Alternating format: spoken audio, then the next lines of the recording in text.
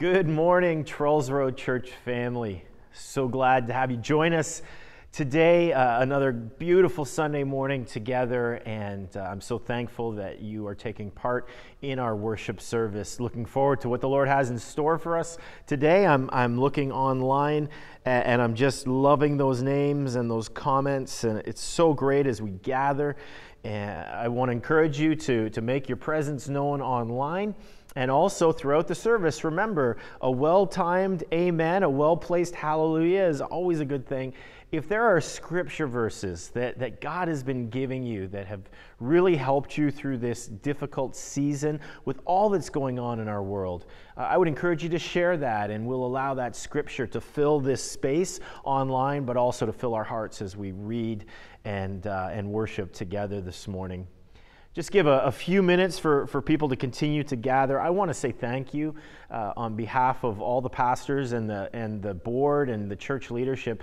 You have done such a great job encouraging us, participating uh, to the best of your ability, and, uh, and we're all learning together.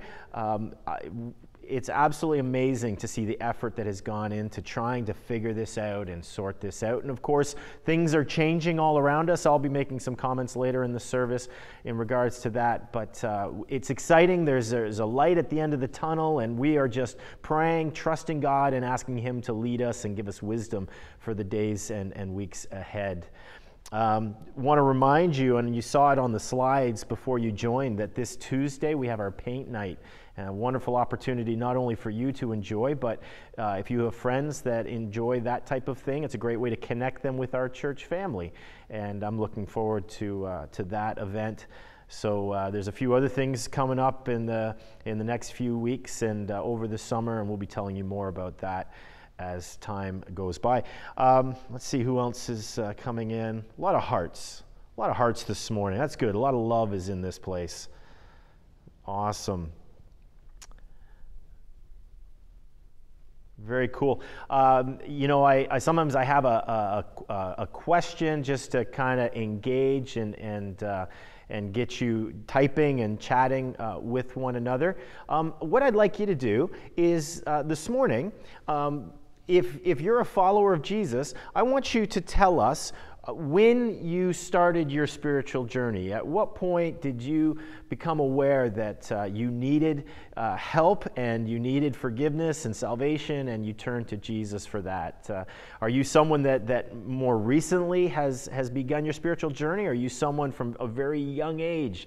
Uh, I know for me, I was about four or five years old when I started the journey, and uh, there's been a lot of ups and downs since then. But I look back to a, a very special time of praying with my mom, and, uh, and that was uh, the beginning of something in my life that, that God has faithfully continued to do a work through the Holy Spirit. So why don't you type in there, what are you, when, when did you start your spiritual journey? And continue to say your hellos and, and greeting.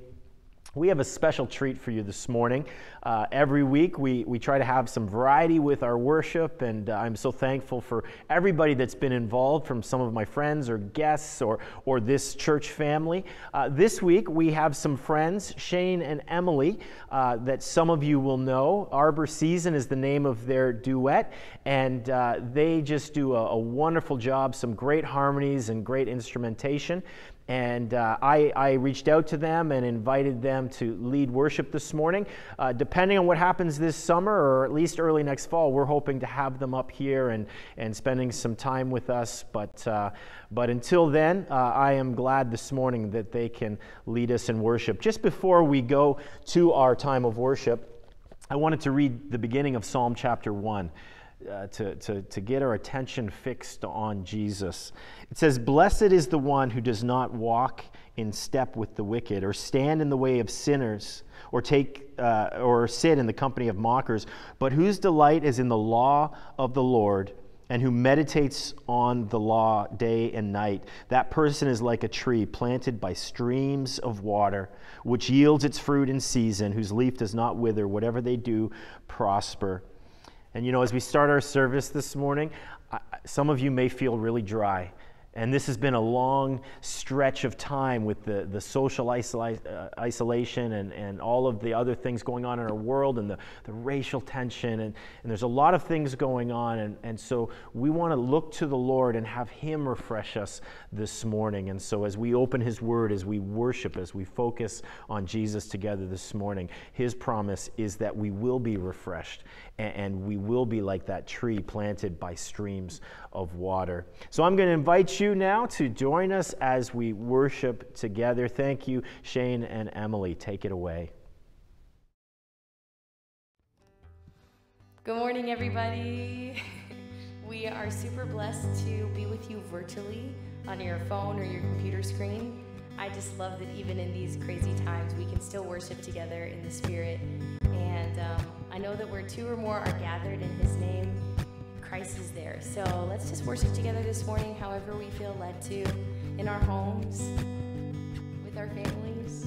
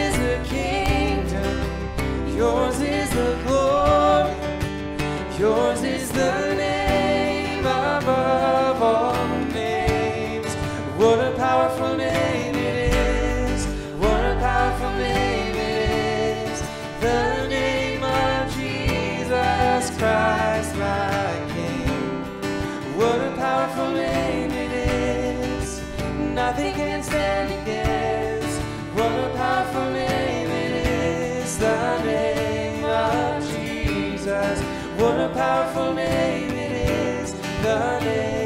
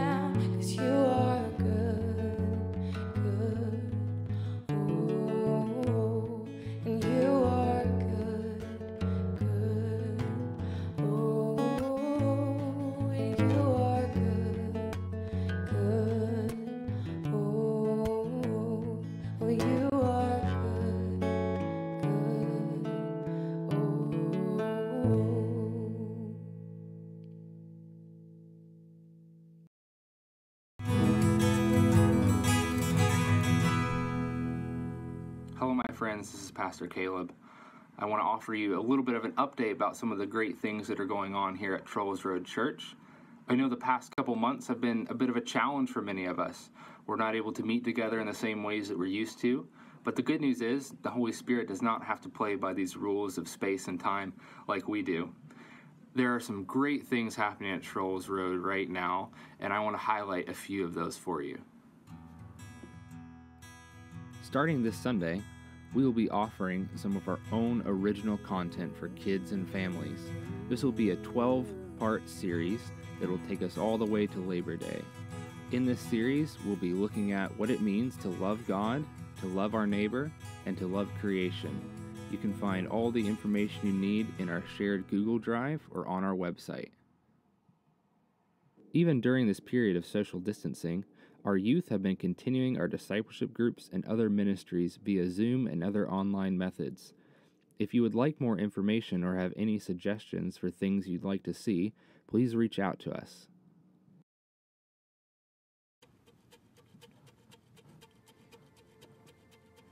The Bible, the most popular and controversial work of civilization. Sometimes, when we approach the Bible, it feels like being dropped into a boat in a chaotic ocean with no tools or maps, and we have to somehow get back to shore. And if we're being honest, we might all relate a bit to this metaphor. Now, there is a scale of healthy to unhealthy ways to engage with the scriptures, and that is what this workshop, the Word, the Bible is not, will explore. We will talk a bit about what the Bible is, a bit about what it is not, and most importantly, the God who is behind it. Hopefully, we can all come away inspired to step into the adventure of God. This is a workshop for Scripture novices, experts, lovers, and skeptics. Let's go on this journey together and enter into the story of God. Hopefully, we can all grow along the way. Registration is now open.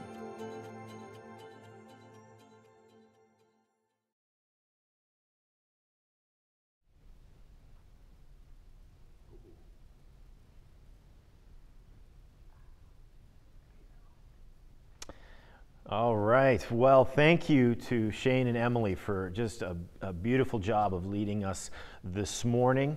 And uh, we're actually going to finish our service off uh, with one of their, their songs uh, later on. But uh, again, thank you for, for leading us. And, and thank you, Pastor Caleb, for that update and giving us a, a little glimpse into uh, what's going on in student ministry and in children's ministry, our Kingdom Kids uh, ministry, as well as our grow groups that I'm very excited about.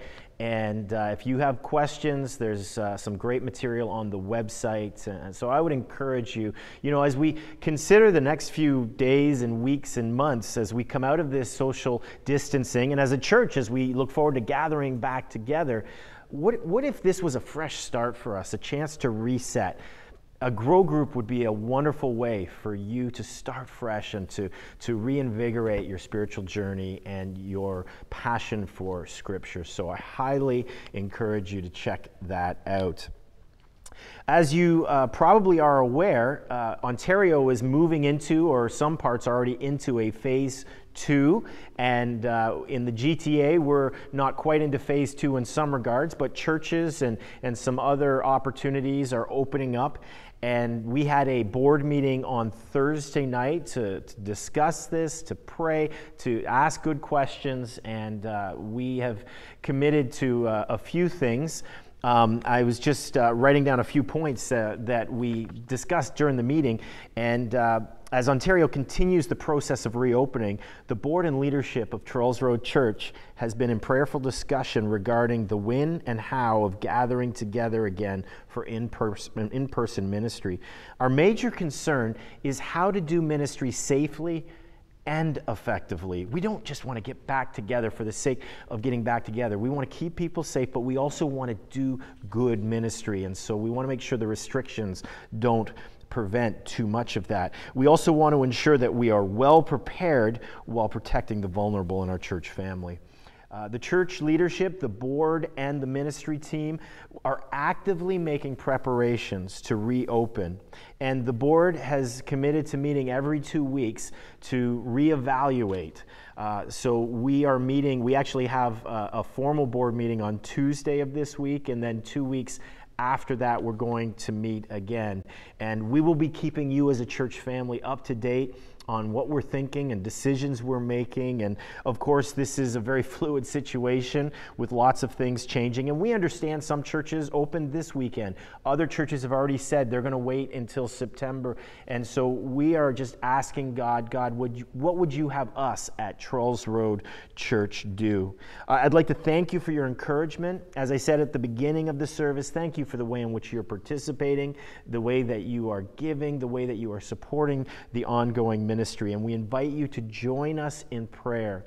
We want to know what the Lord wants us to do, and we are all enthusiastically anticipating being together again. So, we again will be keeping you up to date. We actually have a survey we're going to be sending out uh, hopefully early next week, and uh, just to get your feedback and some input, and uh, are very much excited at a potential light at the end of the tunnel. If you have your Bible, uh, or, or you have a, a device that you're not watching the video on, I want you to look up 1 Corinthians chapter 12. We're continuing our series in the Holy Spirit. This is a very significant chapter if we're going to talk about the Holy Spirit because it's on spiritual gifts. It's sandwiched between uh, the chapter about the Lord's table and instructions on how to do that properly. And on the other side of it is the famous 1 Corinthians 13 love is patient, love is kind, love is love, love, love. And so in between, not accidentally, we find this passage about spiritual gifts. Now, week one of our series, we looked at the fact that, that the natural habitat of the Holy Spirit is wherever God is doing something new. It's not the only place He resides, but wherever God is doing something new, the Holy Spirit is actively engaged. We looked uh, in the second week of our series at Pentecost and how the Holy Spirit was involved in something very specific and very new that God was doing, and that was giving birth to the church. His gift and his idea, the body of Christ, the bride of Christ, given to us to be part of as we uh, try and, and live this life the way that, that we are being led by the Holy Spirit. And that was last week. We talked specifically about what it means to be led by the Holy Spirit and what it looks like when we resist that leading, when we grieve the Holy Spirit, when we frustrate the Holy Spirit, when we resist the Holy Spirit. And so this morning, we want to take a look at spiritual gifts. And this is, uh, as I said, one of the most common topics in relationship to the Holy Spirit. But it's interesting that the gifts themselves are not the most important part of this passage. And I want, I want you to keep that in mind as we go throughout. Uh, and I'll explain and unpack that idea a little bit later. But starting to read in verse 4. There are different kinds of gifts, but the same Spirit distributes them. There are different kinds of service, but the same Lord.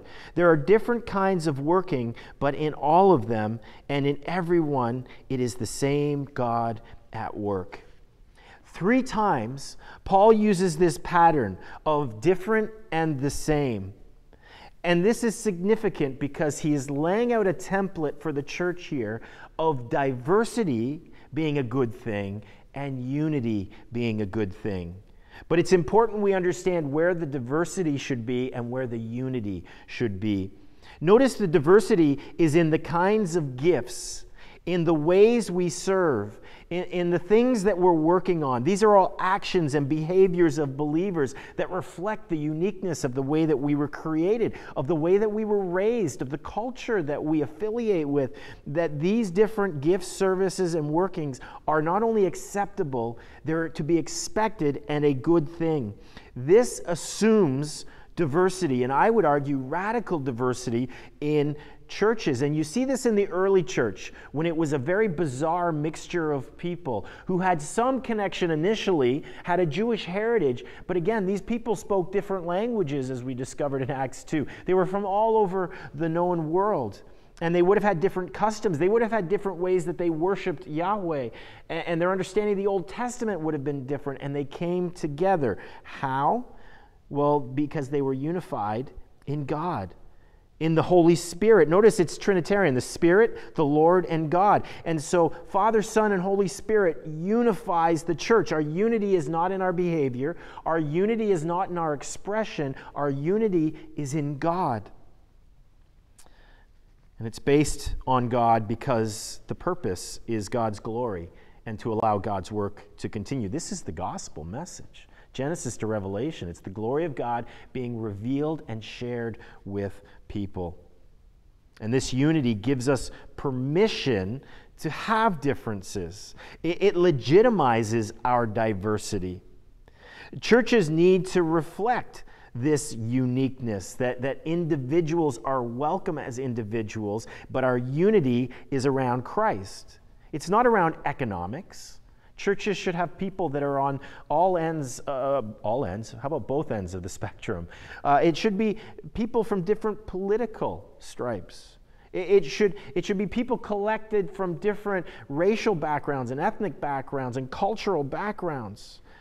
There's too much us and them in our world today, we would all acknowledge, but is our church a safe place where it's not an us and them, it's an us, and we celebrate our diversity? You know, it's interesting. I was reading this week uh, and in Genesis chapter 4, we get the story of Cain and Abel.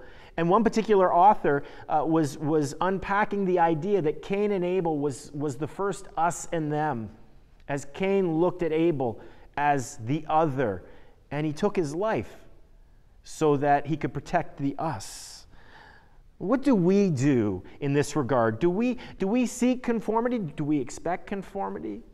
Do we teach conformity? Or do we teach unity and celebrate and encourage diversity? And it's something that I, have been thinking a lot about, praying about, and asking other pastors and other church leaders about as we are recognizing this unique point in time in our history in Canada, in North America, in the world.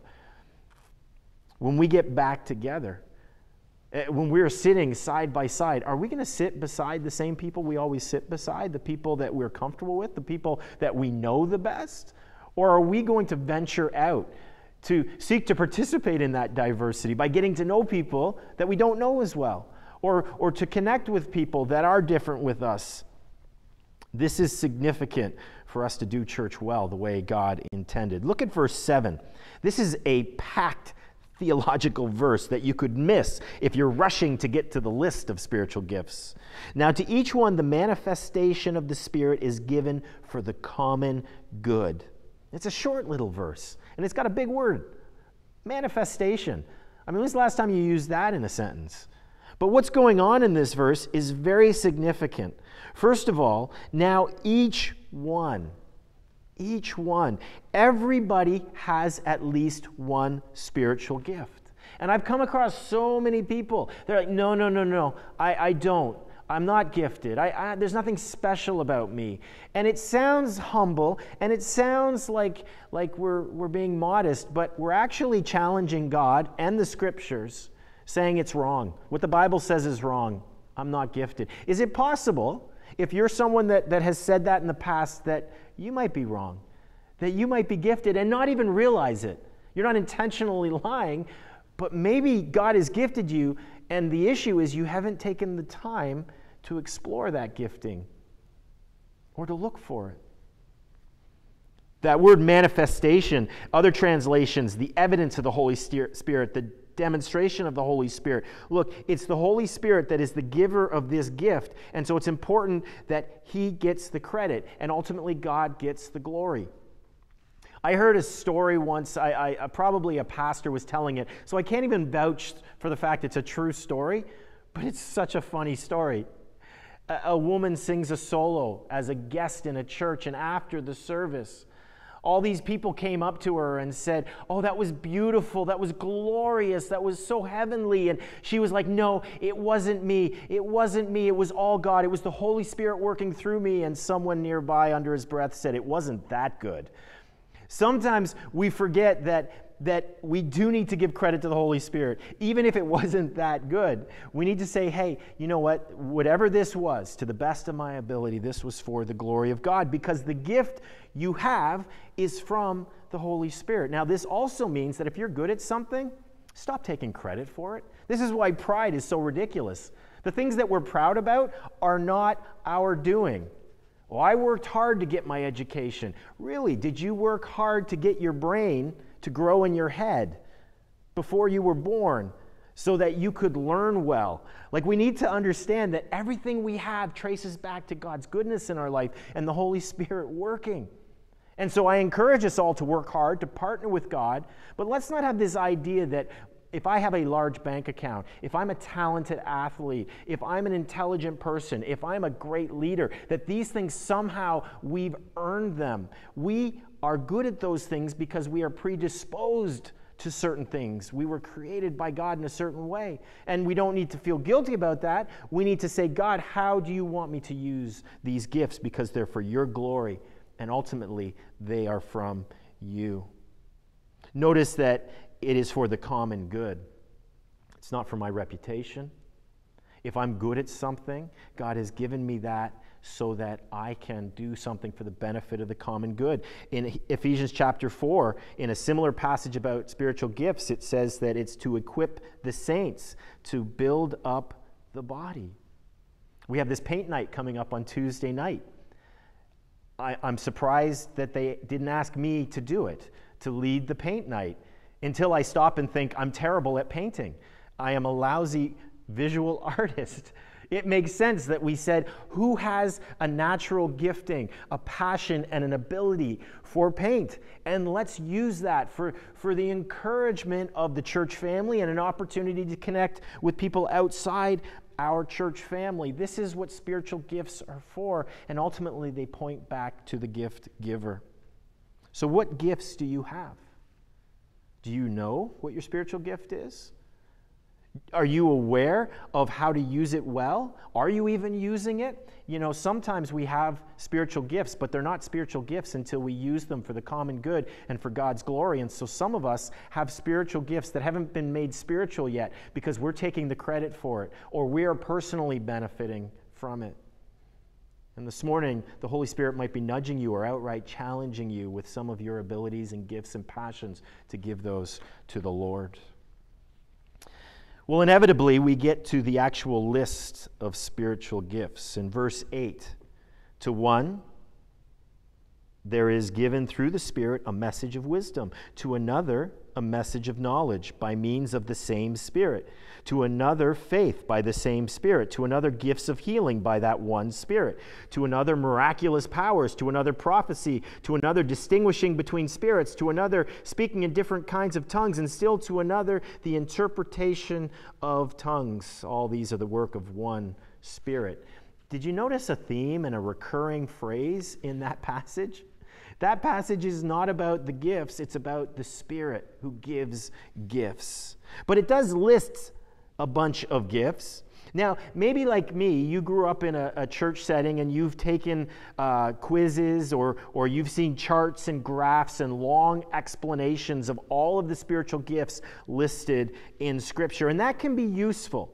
Uh, in this passage, it talks about wisdom, knowledge, faith, healing, miraculous powers, tongues, interpretation. Very impressive things, very mysterious things.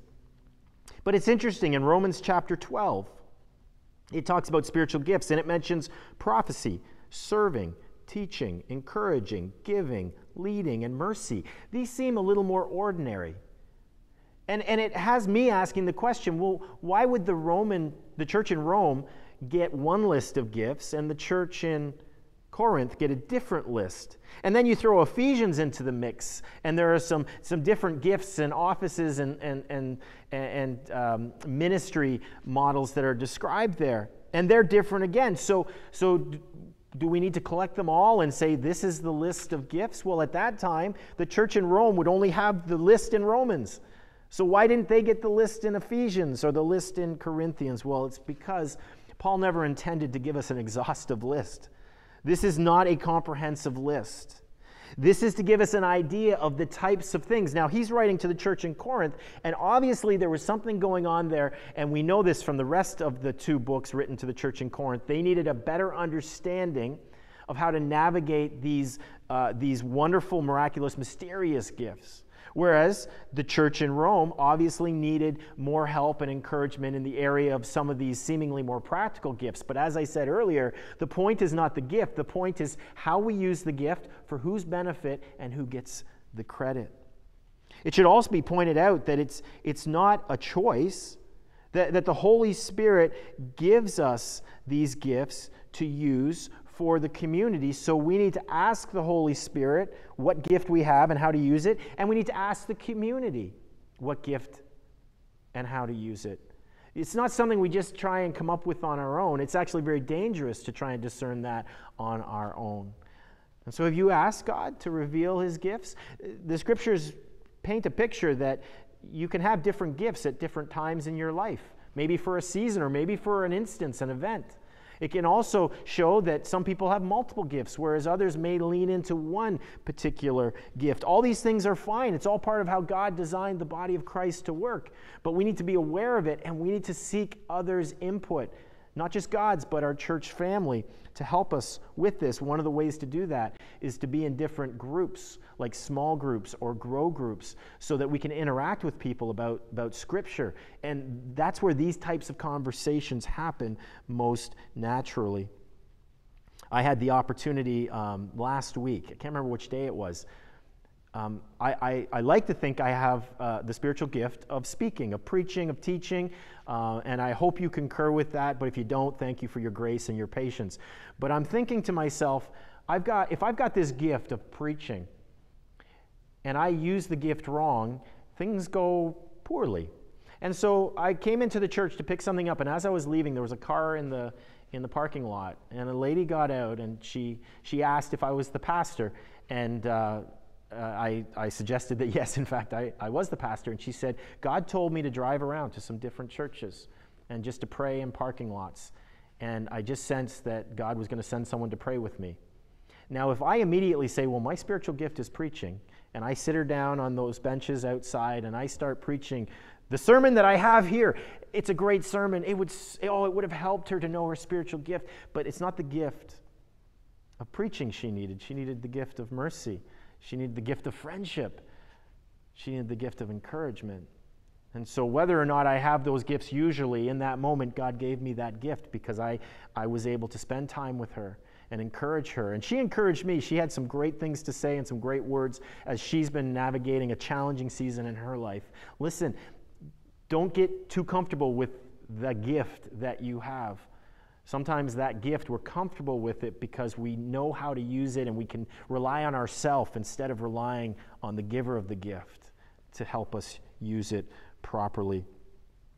It's also not an excuse, by the way, if you have a spiritual gift not to do the other things. For instance, if you if you don't have the gift of generosity and we could discuss what that actually is, but if you don't have the gift of generosity, it doesn't mean that you don't have to be generous. If you don't have the gift of faith, it doesn't mean that you don't need to demonstrate faith. But some people have this natural ability, and it's a God given ability to do it in a, a, remarkable way, again, that blesses the body of Christ and that, that gives glory to God. What is your gift? Now, this always gets a little tricky. So, uh, we're actually going to have a, a, discussion, and by we, I mean you, uh, in your homes. I want you to think about this.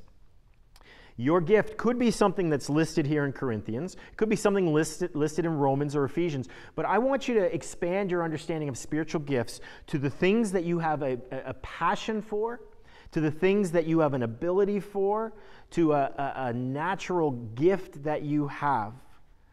And I want you to, to ask the person beside you, or maybe tell them what you think your gift is and get their feedback, or ask them what they think your gift is. So, some of you are in homes with your family right now, or maybe you're with a friend or a spouse. Why don't you have that conversation? If you are in a room by yourself right now, then why don't you ask God and say, God, I think my spiritual gifts might be these things, but would you help me discern that? Why don't you just take a minute and do that?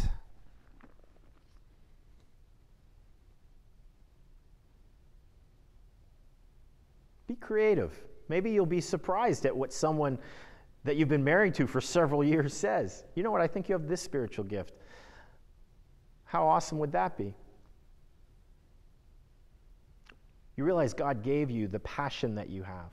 If you're passionate about cooking, if you're passionate about sports, if you're passionate about reading, how would that be a spiritual gift? A way to encourage the body of Christ and a, and a way to give glory to God. You know, these days, uh, tech is very important. Technology, being able to use the, the internet. Maybe you have a, a spiritual gift of technology. How, how could you use that? I, am in a room with two other people right now that have a much higher gifting in technology than I do, and that's why I'm on this side of the camera. Maybe you have a, a passion for justice. And right now, your, your mind is spinning and your heart is churning as you see the injustice in our world. You know, I think people with a, a, spiritual gift of justice right now are crucial for the next steps for us as a church family. What's your gift? What are you passionate about? Now, maybe you're a little shy, uh, but it's not bragging to say, I think this is my gift, or someone else has said this is my gift. And again, it's part of the sorting out and discerning process. If, if you feel comfortable, why don't you put out on, on the comment section what you think your gift is? Uh, again, there's no pressure, but it might be a wonderful way for someone to say, I need someone with that gift, or I have an idea that would mesh with that gift. Or if you know the person, you can affirm that and say, Yeah, I totally see that gift in you.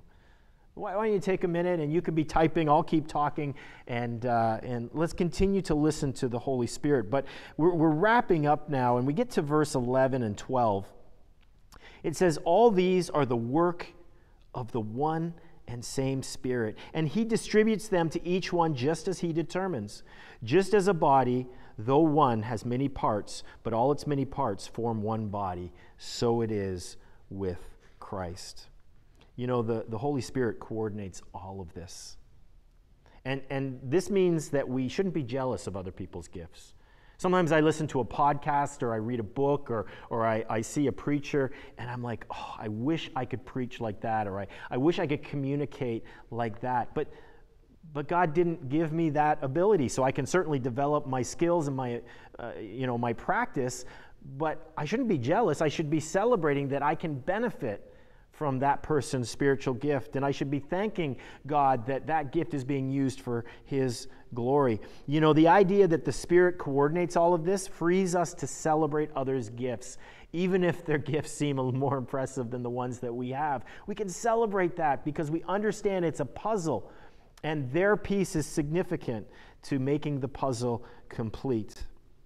But also, it's significant that, that we understand the Holy Spirit has a plan that he's coordinating all this because there is a master plan. We are intended to play our part. And so when you're not part of the church family actively participating, we miss you because there is something that you offer that no one else can provide because God created you unique and has spiritually gifted you to benefit the body of Christ in a way that no one else can.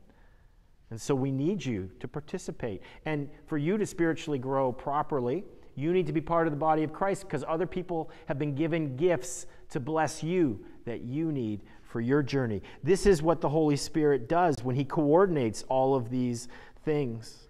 And so we need to understand uh, that, that, that God has a plan for others, that God has a plan for us, but God also has a plan for the church.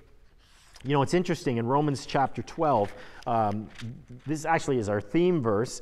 Therefore, uh, I urge you, brothers and sisters, in view of God's mercy, to offer your bodies as a living sacrifice. Then in verse 2, you all know this verse uh, do not conform to the pattern of this world, but be transformed by the renewing of your mind. That was our verse last year. But the second part of the verse says, Then you will be able to test and approve what God's will is, his good, pleasing, and perfect will. In other words, when we allow the Holy Spirit to transform us, then we can discern what the Holy Spirit's plan is, not just for us, but for our church and our world.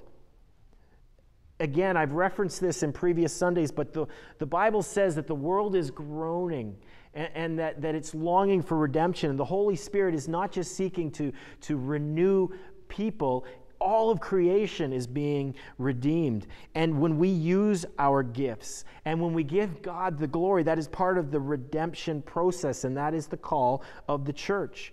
And we can only do it when we're unified in the name of Jesus, but diversified in our gifting, in our experience, in our perspective. And God gets all the glory. And it's God's plan. The Holy Spirit is coordinating this plan in our lives, in our church, and in our world. And we are invited to participate using the gifts that He has given us. We need to be ready when we gather back together face to face. Not that we can't do anything until then, but we have a remarkable opportunity, Trulls Road Church, to bless our community. To, to bring about gospel hope, this idea of shalom, of peace, we need to be ready so that we can pray that prayer Your will be done, your kingdom come on earth as it is in heaven. And it starts in your life and my life, and then it, it continues in the life of the church here at Trulls Road and out into the community of Courtice and to the entire world. And so, are you ready to do your part and let the Holy Spirit lead you using the gifts He has given you? Let's pray together. Heavenly Father, we thank you so much for this incredible gift of the church. It was your idea, it was your blessing. It is the body of Christ, it is the bride of Christ. The, the Bible even makes it clear that Jesus is not coming back for individuals, he's coming back for his bride, for the church, for this group of believers that are unified in Jesus' name, but so diverse, every tribe, tongue, and nation that will declare his praises one day. We thank you that you have also given us the Holy Spirit to be active in our church, to be active in our lives, to coordinate your plan of redemption. And I pray that we not only receive those gifts and understand those gifts, but we use them well and thoughtfully and powerfully, not in our own ability, but in the ability of the one who gave us these gifts.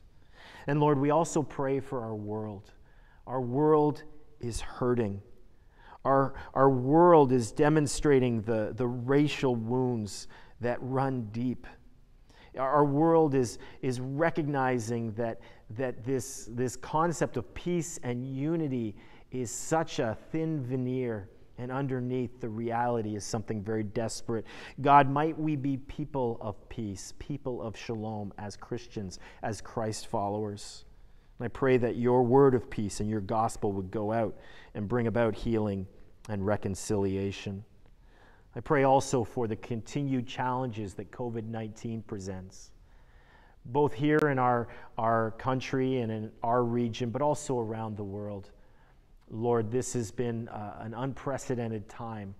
And in, in some ways, it's been a, a really exciting opportunity to reset and start fresh in some areas, but in other ways, it's been devastating as, as people have lost loved ones, as, as people have missed loved ones and have been separated from them, and, and whether people have been in the hospital or in long term care facilities, perhaps in, in uh, distant places where they can't get to one another to celebrate or to grieve together. God, we just pray that as we come out of this season of COVID, this pandemic, that you would bring about the restoration of relationships, that you would bring about health in areas where there is struggling mental health, that there would be physical health in areas where there is struggling. Um, uh, struggling physical health. But also, Lord, we pray for spiritual health in, in areas where there has been spiritual darkness for so long, even here in Canada, even here in Courtice. We also recognize the political landscape that is so polarized here in Canada, especially, uh, but also in the United States, and, and we're seeing that playing out on the world stage. Oh God, again, you have given us this, this gift of peace to offer to the world. And so I pray that you would make us wise to know how to engage in politics without getting caught up in the trappings and the, the, the dangers and the uh, the misdirection that sometimes politics can bring about. Lord, you are the King of Kings and the Lord of Lords. And I pray that we would remember that at all times. And, and God, that our support and loyalty ultimately would be to you. We pray for our church family. We pray for the leaders in our church that you would give us wisdom. We pray for the board meeting on Tuesday night that we would, uh, again, hear from your spirit and understand the direction that you would have us go.